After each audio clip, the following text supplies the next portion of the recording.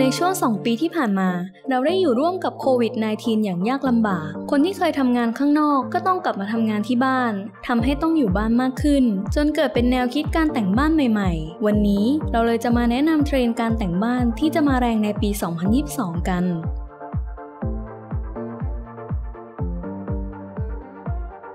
ใช้สีที่เรียบง่าย การแต่งบ้านที่กำลังเป็นเทรนในปีนี้ คือการใช้สีธรรมชาติ เนื่องจากการที่ต้องอยู่บ้านเป็นเวลานานๆ สีที่มีโทนฉูดฉาด สร้างความรำคาญให้กับใครหลายคน ผู้คนต้องการความรู้สึกผ่อนคลายเวลาอยู่บ้าน จึงหันมาใช้สีโทนเบจมากขึ้น จนเกิดกลายเป็นเทรนด์ใหม่ในปี 2022 ไปเลือกใช้เฟอร์นิเจอร์ที่โค้งมภ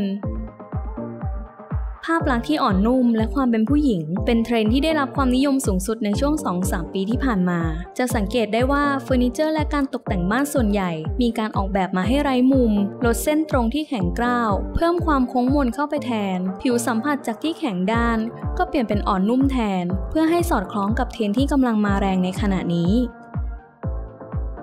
minimalism minimalist เป็นเทรนด์การแต่งบ้านที่ได้รับการยอมรับไปทั่วโลก ผู้คนเริ่มหันมาใช้ของแต่งบ้านที่น้อยลง เพิ่มพื้นที่มากขึ้นทำให้เพิ่มอากาศภายในบ้าน กุญแจสำคัญที่ทำให้การแต่งบ้าน minimalist มีความแตกต่างจากสไตล์อื่น คือการซื้ออย่างมีสติ ใช้เฉพาะเฟอร์นิเจอร์ที่จำเป็น เมื่อมีการใช้เฟอร์นิเจอร์น้อยลง ก็จะช่วยลดปริมาณขยะ และรักษาสิ่งแวดล้อมไปในตัว แม้จะใช้เฟอร์นิเจอร์น้อยชิ้นก็สามารถสื่อถึงความเป็นตัวคุณได้ มีธรรมชาติอยู่เคียงข้าง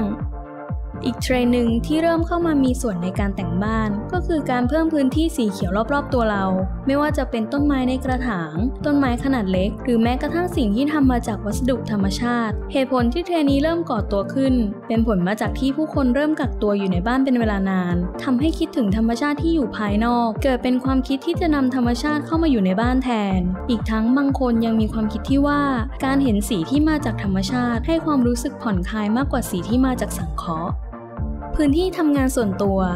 เป็นเทรนที่เรียกว่าจำเป็นกับทุกคนที่ต้องทำงานแบบ work from home ในช่วงโควิด -19 ที่ผ่านมา การต้องทำงานบนโต๊ะกินข้าวใจกลางบ้านย่อมไม่สะดวกอย่างแน่นอน หลายคนจึงหันมาสร้างพื้นที่การทำงานส่วนตัวกันมากขึ้น และจะกลายเป็นเทรนการแต่งบ้านที่จำเป็นในปี 2022 นี้